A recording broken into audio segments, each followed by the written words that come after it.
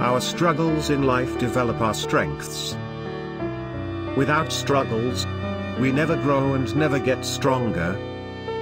So it's important for us to tackle challenges on our own, and not be relying on help from others.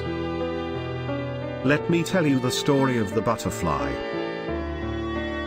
A man found a cocoon of a butterfly. One day a small opening appeared. He sat and watched the butterfly for several hours as it struggled to force its body through that little hole. Until it suddenly stopped making any progress and looked like it was stuck.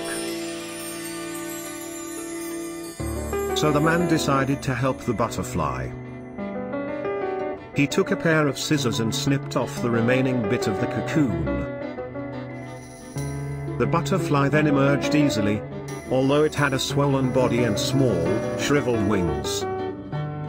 The man didn't think anything of it and sat there waiting for the wings to enlarge to support the butterfly.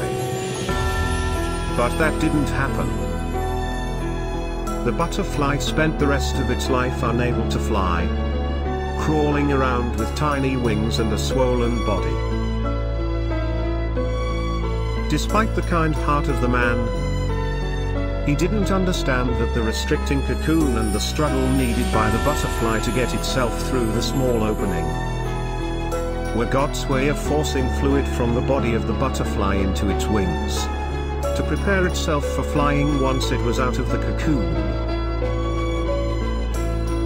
This is the story of the butterfly.